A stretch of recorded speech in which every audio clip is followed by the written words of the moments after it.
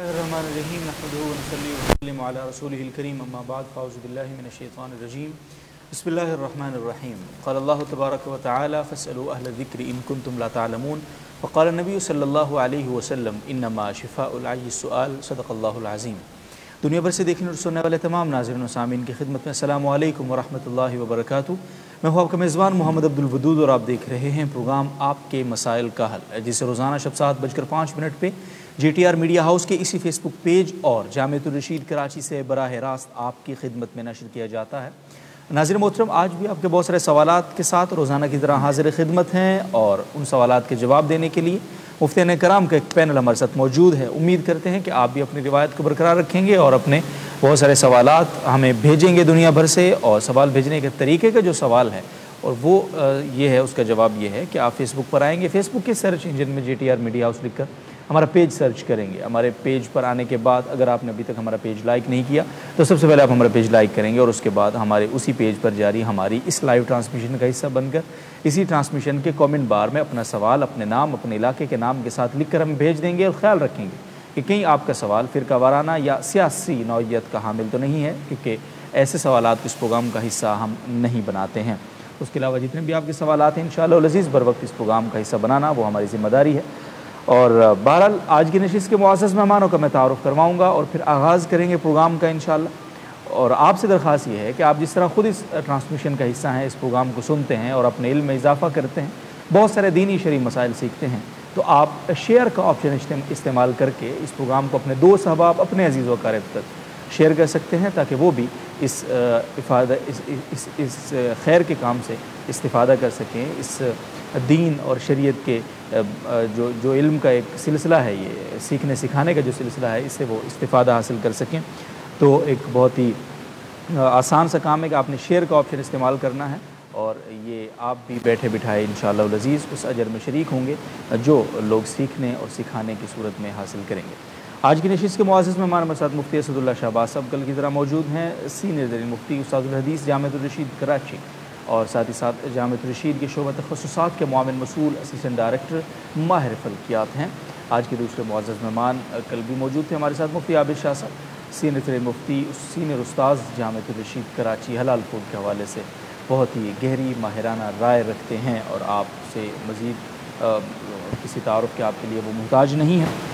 بہرحال آج کی نشست کا پہلا سوال مفتی اسد اللہ شہباز صاحب کی خدمت میں رکھیں گے اور سوال ہم سے پوچھا ہے۔ افرا سیاب خان صاحب نے صاحب یہ پوچھتے ہیں کہ جس نے خود اذان دی ہو وہ دوسری مساجد کی اذان کا جواب دینے کا پابند ہوگا مصب بسم اللہ الرحمن الرحیم۔ جس شخص نے خود اذان دی ہے وہ تو گویا کہ مسجد میں ہی ہوگا۔ تو جو شخص مسجد میں ہوتا ہے اس کے ذمے اذان کا جواب دینا کوئی ضروری نہیں ہوتا۔ ویسے اگر مسجد میں نہ بھی ہو تو اگر اس نے ایک مرتبہ اذان کا جواب دے دیا ہو تو پھر بقی اذانوں کا جواب دینا کوئی ضروری نہیں ہوتا، اپنے محلے کی مسجد کا جواب دے دیا جائے اور اس کے بعد پھر بقیہ اپنے کام میں لگ جائے تو کوئی حرج نہیں اس میں۔ کوئی حرج نہیں بہت بہت شکریہ۔ محمد فیضان صاحب دہلی سے پوچھتے ہیں۔ صاحب، ایک صورت کو دو رکت میں لگاتار پڑھنا یعنی پہلی رکت میں بھی وہی صورت پڑھی، پھر دوسری رکت میں بھی وہی صورت پڑھی، یہ کیا درست ہے یا درست نہیں ہے؟ نیز اس معاملے میں، اس مسئلے کے بابت یعنی سنت اور فرض نماز میں کوئی فرق ہوگا یا سب کے لیے ایک ہی حکم ہوگا یہ حکم تو سب کے لیے ایک ہی ہے کہ ایک ہی صورت کو بار بار نہیں پڑھنا چاہیے۔ البتہ اگر کسی کو دوسری صورت یاد ہی نہ ہو تو پھر وہی پڑھ لے کوئی حرج نہیں اس میں۔ لیکن کوشش کرنی چاہیے کہ ہر رکعت کے لیے الگ الگ صورتیں ہونی چاہیے۔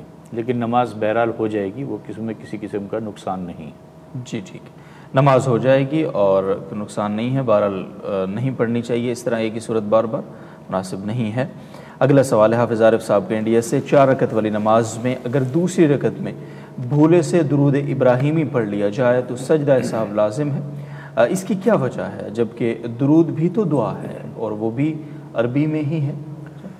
دیکھیں ایک ضابطہ ہے فقہی کہ اگر نماز کے واجبات میں سے کسی واجب کو بھولے سے چھوڑ دیا یا اس میں تاخیر ہو گئی جی۔ تو یا پھر فرائض میں تاخیر ہو گئی جو نماز کے فرائض ہیں ان میں سے کسی فرض میں تاخیر ہو گئی تو اس تاخیر کی وجہ سے سجدہ صاحب لازم آتا ہے۔ جی۔ تو دوسری رکعت کے بعد جو تشہد ہوتا ہے تو اس کے بعد تیسری رکعت کے لیے کھڑا ہونا ہوتا ہے جی۔ جو کہ فرض ہے۔ تو اس فرض قیام جو فرض ہے اس میں تاخیر ہوتی ہے تو تاخیر فرض کی وجہ سے اس کے اوپر سجدہ صاحب لازم آتا ہے۔ باقی اور کوئی مسئلہ نہیں۔ جی ٹھیک ہے بہت بہت شکریہ۔ یہ آپ نے جواب دیا اور میں نے ایک بڑا عاشقانہ جواب سنا تھا۔ ایک بڑے بزرگ تھے ان کی مجلس میں۔ ایسے ہی انہوں نے اپنے جو مریدین بیٹھے تھے ان کو محظوظ کرنے کے لیے جواب دیا تھا۔ انہوں نے کہا تھا کہ اصل حکم یہ ہے کہ ہم جب قاعدہ اولا میں بیٹھتے ہیں تو ہمیں درود نہیں پڑھنا، ہم بھول کر پڑھتے ہیں۔ تو اس وجہ سے ہمارے اوپر سجدہ صاحب لازم ہوتا ہے۔ اللہ تعالیٰ کو یہ بات گوارا نہیں ہے کہ میرے محبوب کا نام کوئی غفلت ملے۔ ٹھیک ہے نا؟ تو اللہ صلی علی محمد، یہ جب ہم پڑھتے ہیں تو ہم سجدہ صاحب کرتے ہیں۔ تو اس طرح شاید انہوں نے ویسے ہی اصل بات وہی ہے جو مصعب نے فرمائی۔ تو میں نے کوٹ کر دی بات سنی تھی۔ لیکن اس کو یہ نہ ہو کہ کوئی شخص جی، جان جی۔ بوجھ کے لینا شروع کر ہاں جی جی جان بوجھ کے ضرورت پڑے گا تو نماز ہی نہیں بس وہ ہاں جی بالکل میں نے جس راز کیا کہ اصل جواب وہی ہے کہ واجب میں تاخیر وہی اصولی بات سجدہ صاحب واجب ہوتا ہے اس سے۔ اگلا سوال ہے مصعب مسز مبشر صاحبہ کا کراچی سے۔ وضو کے نفل پڑھنے کے لیے گیلے وضو سے نفل پڑھنا ضروری ہے یا وضو سوکھ جانے کے بعد بھی پڑھ سکتا ہے؟ بس وضو کے بعد نفل پڑھنا اس کو تحیت الوضو کہہ دیا جاتا ہے۔ تو چاہے آپ کے اعضا خشک ہو گئے ہیں یا نہیں ہو گئے اس سے اس کا کوئی تعلق نہیں ہے۔ بہت بہت شکریہ۔ مفتی عابد شاہ صاحب کی خدمت میں جاؤں گا۔ سید زمان شاہ صاحب پرواز سے پوچھتے ہیں کیا اسٹیٹ لائف انشورنس سے پیسے کا لین دین کرنا یہ جائز ہے؟ اور اسٹیٹ لائف انشورنس صاحب اور تکافل آج کل جو رائج ہے انشورنس کے آلٹرنیٹ کے طور پر مارکیٹ میں ان دونوں میں فرق کیا ہے؟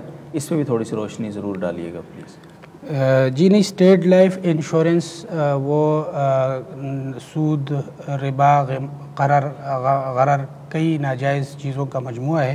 اس لیے اسٹیٹ لائف انشورنس سے پیسے لینا دینا تو جائز نہیں ہے۔ جی۔ اور جیسے آپ نے سوال کیا کہ اس میں اور موجودہ تکافل میں کیا فرق ہے تو اس میں بنیادی فرق جن حضرات علماء نے تکافل کو ایک الٹرنیٹ کے طور پر انشورنس کے متبادل کے طور پر متعارف کرایا ہے، تو وہ بنیادی فرق وہ اس میں یہ لائے ہیں کہ انشورنس کی صورت میں جو ایک عقد ہوتا ہے، وہ عقد معاوضہ ہوتا ہے کموٹیٹیو کنٹریکٹ جس کو کہتے ہیں۔ اور عقد معاوضہ کے بارے میں شریعت کا اصول یہ ہے کہ اس میں ربا، قمار، غرر یہ چیزیں وہ قابل برداشت نہیں ہوتی۔ جی۔ جبکہ جو تکافل کی بنیاد تکافل کا نیا نظام اس کے متبادل کے طور پہ متعارف کرایا گیا ہے اس کی بنیاد وقف پر ہے۔ اور وقف ایک عقد تبرو ہے عقد معاوضہ نہیں ہے۔ تو اس لیے عقد تبرو میں اس قسم کی یعنی غرر بے یقینی وغیرہ اگر ہو تو وہ اس کو برداشت کر لیا جاتا ہے اس کی گنجائش دی جاتی ہے۔ تو یہ بنیادی فرق ہے کہ تکافل کی بنیاد عقد غیر معاوضہ پر ہے یعنی عقد تبرو پر، اور انشورنس کی بنیاد عقد معاوضہ پر ہے، بے پر ہے، تو اس میں یہ چیزیں برداشت نہیں کی جاتی ہیں۔ تو اس وجہ سے کنونشنل انشورنس جائز نہیں ہے، اور تکافل کے بارے میں علماء کی دو آراہ ہیں، بعض علماء نے اس کی گنجائش دی ہے۔ بہت بہت شکریہ، جزاکم اللہ خیر۔ تو ناظر محترم، یہ بات آپ یاد رکھ لیں، آئندہ کوئی آپ کو گمراہ کرنے کی کوشش کرے تو اس کو بتائیں کہ بنیادی فرق یہ ہے کہ انشورنس کی جو بنیاد ہے، اسٹیٹ لائف انشورنس یہ دیگر، ان کی بنیاد ہے عقد معاوضہ پر اور جو تکافل ہے جس کو بعض علماء جائز کہتے ہیں اجازت دیتے ہیں، تو اس کی بنیاد عقد تبروں پر ہے۔ اس کی ڈیٹیلز پھر جو ہے وہ مسا نے آپ کو بیان کر دی ہیں، اس کلپ کو بھی آپ سن سکتے ہیں۔ اگلا سوال ہے مصحف کی خدمت میں، سلمان حفیظ صاحب کا ملتان سے۔ مصحف وہ کہتے ہیں کہ ایک بندہ اب باہر سے کچھ امپورٹ کرتا ہے کسی ملک سے، اس کی قیمت پانچ سو پچاس ڈالر پر ٹن ہے۔ لیکن وہ چار سو ڈالر کے ذریعے دیتا ہے، اور باقی ہنڈی کے ذریعے پیسے بھیجتا ہے۔ کیونکہ اگر وہ پوری قیمت ایل سی انہوں نے لکھا ہے، دے تو اس کو ٹیکس بہت پڑتا ہے، ایسا کرنا، اس طرح سے معاملات کرنا اس کے لیے ٹھیک ہے۔ اور کمائی کا پھر اس صورت میں کیا حکم ہوگا مسلم جی دیکھیں، حکومت کے جو ٹیکس ہیں، وہ دو، دونوں قسم کے ہوتے ہیں۔ ہر ٹیکس سے بچنا یہ شران جائز نہیں ہے، بلکہ یہ بھی چوری کی ایک قسم ہے۔ بلکہ یہ عام چوری کی بنسبت اس لحاظ سے زیادہ شدید ہے، زیادہ سخت ہے کہ اگر ایک عام آدمی سے کوئی چوری کرتا ہے تو کسی بھی وقت اس کو توبہ کی اگر توفیق ہو تو وہ اس کو واپس بھی کر سکتا ہے۔ لیکن حکومت سے جو چوری کی جاتی ہے، وہ دو، جتنے ملک کے جتنے افراد ہیں ان ساروں سے وہ چوری ہوتی ہے۔ تو اس لیے یہ پہلی بات تو یہ ہے کہ ٹیکس علی الاطلاق، ٹیکس کو وہ سمجھنا ناجائز سمجھنا اور اس کو چوری کو جائز سمجھنا یہ رویہ درست نہیں ہے۔ البتہ اتنی بات ہے کہ اگر کوئی ٹیکس واقعتاً ظالمانہ ہو تو اس ظالمانہ ٹیکس سے ایسے طریقے سے بچنا، اس کے لیے ایسی تدبیر اور ایسا ہیلا اختیار کرنا کہ جس میں سری جھوٹ نہ بولنا پڑے اور اپنی عزت کو خطرے پہ، داؤ پہ نہ لگانا پڑے۔ تو اس کی گنجائش ہے، لیکن یہاں انہوں نے جو صورت لکھی ہے اس میں ہنڈی کے ایل سی کے بجائے ہنڈی کے طریقے کو یہ اختیار کر رہے ہیں۔ تو ہنڈی بذات خود ایک خلاف قانون کاروبار ہے اور جو چیز یعنی حکومتی قانون کے خلاف ہو شرعن بھی اس کو کرنا گناہ اور ناجائز ہوتا ہے۔ تو اس لیے ہنڈی کا راستہ اختیار کرنا تو شرعن بھی گناہ ہے اور جائز نہیں ہے۔ البتہ اگر یہ ٹیکس واقعتاً ظالمانہ ہے تو یہ کوئی اور جائز تدبیر اختیار کر سکتے ہیں۔ باقی یہ ٹیکس ظالمانہ ہے یا نہیں، ایل سی کے ذریعے سے امپورٹ کی صورت میں جو ٹیکس لگایا جاتا ہے تو اس کی کوئی تفصیل جب تک پوری تفصیل اس معاملے کی ہمارے سامنے نہ ہو، ٹیکس کی شرح سامنے نہ ہو تو ہم کوئی بات اس حوالے سے نہیں کر سکتے ہیں کہ یہ ٹیکس ظالمانہ ہے یا نہیں ہے اور اس سے بچنا جائز ہے یا نہیں ہے۔ جی ٹھیک ہے بہت بہت شکریہ۔ فردر ڈیٹیل آپ بھیج سکتے ہیں۔ اسپیسیفکلی آپ کا جو مسئلہ ہے اس حوالے سے تو اصولی بات ہوئی ہے جو بیان فرما دی گئی۔ اگر مزید آپ کو وضاحت چاہیے تو اس کی ڈیٹیل بھیج کر پوچھی جا سکتی ہے۔ امبرین صاحبہ کراچی سے پوچھتی ہیں کیا شعبان ذوالقادہ ذوالحجہ میں عمرہ کرنے سے حج فرض ہو جاتا ہے؟ سنا تھا کہ کسی تین مہینے میں، ان ان تین مہینوں میں سے کسی ایک مہینے میں عمرہ کرنے سے حج فرض ہو جاتا ہے، تو اس کی وضاحت درکار ہے مجھ سے۔ جی یہ مسئلہ بالعموم مطلق طور پر مشہور ہے کہ اگر کوئی اشہر حج میں عمرہ کر لے تو اس پر حج فرض ہو جاتا ہے، لیکن یہ اس طرح مطلق طور پر صحیح نہیں ہے۔ صحیح بات یہ ہے کہ چند شرائط کے ساتھ اگر کوئی آدمی اشہر حج میں یعنی شوال ذیلقادہ اور ذیلحجہ کے پہلے دس دنوں میں عمرہ کر لے تو اس پر حج فرض ہوتا ہے اور ان شرائط میں سے پہلی شرط یہ ہے کہ اس آدمی نے پہلے سے حج نہ کیا ہوا ہو۔ اگر پہلے سے حج کر چکا ہو تو چونکہ حج صرف ایک مرتبہ فرض ہوتا ہے تو وہ اگر ان مہینوں میں عمرہ کر لے تو اس پر حج فرض نہیں ہوتا۔ دوسری شرط یہ ہے کہ وہ اشہر حج میں عمرہ کرنے کے بعد وہاں ٹھہر سکتا ہو۔ یعنی اس کے پاس مصارف بھی موجود ہوں وہاں ٹھہرنے کے اور قانوناً اس کو اجازت بھی ہو۔ جی۔ تو اگر اس کے پاس مصارف نہیں ہے یا قانوناً اجازت نہیں ہے جیسے کہ آج کل نہیں ہوتی تو ایسی صورت میں بھی اس پر حج فرض نہیں ہوگا اگرچہ پہلے اس نے حج نہ بھی کیا ہو۔ تو اس لیے جب تک یہ تین شرائط موجود نہ ہوں اس وقت تک اشہر حج میں عمرہ کرنے سے حج فرض نہیں ہوگا۔ اور اگر یہ تینوں شرطیں موجود ہوں تو پھر حج فرض ہو جائے بہت بہت شکریہ مصعب آپ کا عمومی طور پر حج فرض حج فرض سمجھنا یا کہنا یہ ٹھیک نہیں ہے۔ تین شرائط اس کی مصعب نے فرمائی ہیں۔ اگر ان دنوں میں یہ تین شرائط پائی جائیں اور آپ عمرہ کر رہے ہیں تو آپ پر حج فرض ہوگا ادروائز نہیں ہوگا۔ سیف اللہ شفیق صاحب ابتباس سے پوچھتے ہیں نبی کریم صلی اللہ علیہ وسلم نے حج تمتو فرمایا تھا یا پھر حج قرآن ادا کیا تھا؟ جی رسول اللہ صلی اللہ علیہ وسلم نے حج تمتو فرمایا تھا، یا قرآن فرمایا تھا، یا افراد فرمایا تھا، اس سلسلے میں تینوں مسائل کے ہیں۔ حضرت امام ابو حنیفہ رحمہ اللہ اور حضرت امام احمد بن حنبل رحمہ اللہ، یہ دو حضرات یہ فرماتے ہیں کہ آپ صلی اللہ علیہ وسلم نے حج قرآن کیا تھا۔ جبکہ حضرات شواف اور مالکیہ کا یہ مسئلہ ہے کہ آپ نے حج افراد کیا تھا، اور کچھ حضرات کا یہ بھی کہنا ہے کہ آپ نے حج تمتو کیا تھا۔ اور حدیث کی روایات سے تینوں تینوں کی تائید کرنے والی احادیث مل جاتی ہیں۔ البتہ محققین نے حضرت امام ابو حنیفہ رحمہ اللہ کے اس مسلک کو راج قرار دیا ہے کہ آپ صلی اللہ علیہ وسلم نے حج قرآن کیا تھا۔ چنانچہ بیس سے زائد صحیح اور صحیح روایات سے اس کا ثبوت ہوتا ہے کہ آپ صلی اللہ علیہ وسلم کا جو حج تھا وہ حج قرآن تھا۔ جی ٹھیک ہے۔ آپ صلی اللہ علیہ وسلم کا جو حج تھا وہ حج قرآن تھا۔ اینڈ آف دا ٹائم اگلا سوال مفتی اسد اللہ شہباز صاحب کی خدمت میں لے کر جاؤں گا اور وہ سوال سائل کا نام درج نہیں ہے بہرحال اگر نماز کے دوران کوئی آئے اور یہ کہے کہ جب نماز پڑھ لو تو بھائی ذرا آ جانا کام ہے تو نماز پہ کوئی فرق تو نہیں پڑے نہیں جو اس نے بات سن لی ہے تو سننے کے بعد نماز کے بعد ہی وہ عمل کرے گا تو کوئی حرج نہیں کوئی حرج نہیں بہت بہت شکریہ۔ اسرار خان صاحب شارجہ سے پوچھتے ہیں میں رمضان مبارک کے مہینے میں عمرہ کرنے گیا اور وہاں تراوی کے بعد وطر بھی امام حرم کے پیچھے پڑے میں نے۔ لیکن وہاں وطر کا طریقہ یہ ہے کہ ایک رکت پڑھی جاتی ہے پھر سلام پھیرنے کے بعد دو رکت الگ ادا کی جاتی ہیں۔ کیا اس طرح سے میری وطر ادا ہو گئے ہیں نماز وطر جو میں نے پڑھی وہاں پہ یا نہیں ہوئے ہیں؟ یہاں عمارات میں بھی یہی طریقہ ہے مصعب تو کیا حکم ہے؟ جی ہاں وہاں پر جو طریقہ ہے وہ یہ ہے کہ پہلے دو رکعت پڑھتے ہیں اور اس کے بعد پھر سلام پھیر کر پھر ایک رکعت وطر پڑھتے ہیں۔ جی۔ ان کے ہاں یہی طریقہ ہے کہ دو سلاموں کے ساتھ تین رکعت پڑھتے ہیں۔ صحیح۔ اور حنفیہ کے ہاں ایک سلام کے ساتھ تین رکعت پڑھنی ہوتی ہے۔ جی۔ تو عام تو دوسری جگہوں میں تو اس کی اجازت نہیں ہوتی کیونکہ ہمارے ہاں ایک سلام کے ساتھ تین رکعت پڑھنا واجب ہے۔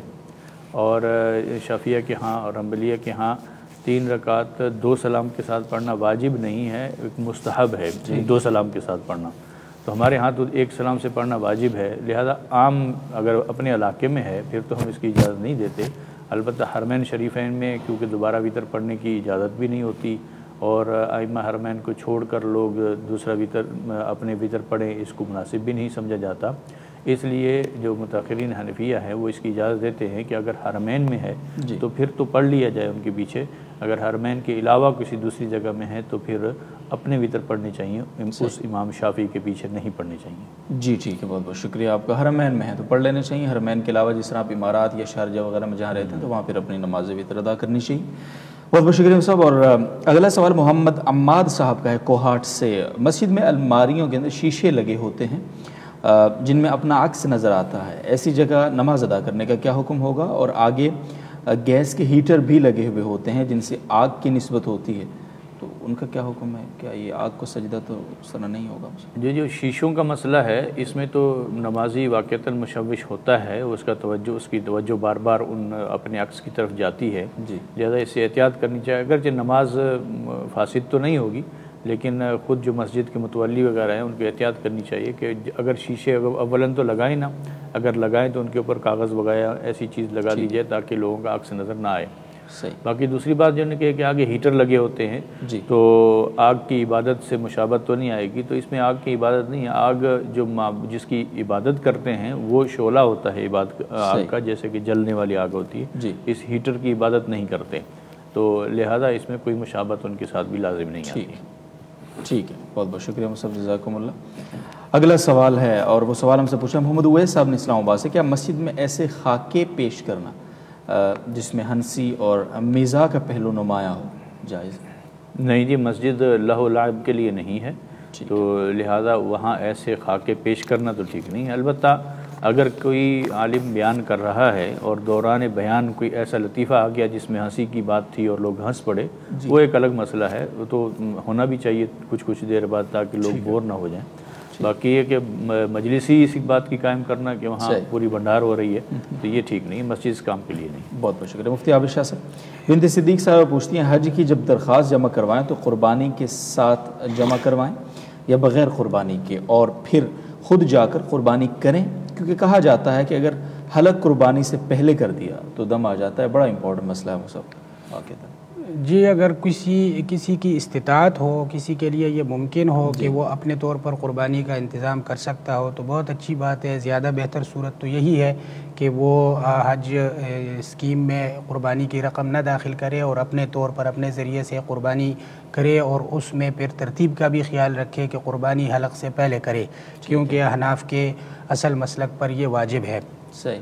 البتہ آج کل یہ بہت مشکل ہوتا ہے کہ آدمی اپنے طور پر وہاں قربانی کا انتظام کر سکے۔ تو اس لیے اگر حج سکیم میں کوئی آدمی رقم داخل کر دے قربانی کے نام پر اور وہ یہ کہیں کہ ہم آپ کی طرف سے قربانی کر لیں گے تو ایسی صورت میں اس شخص کی قربانی ہو جائے گی حج کی اور اس کی ذمہ داری ادا ہو جائے گی۔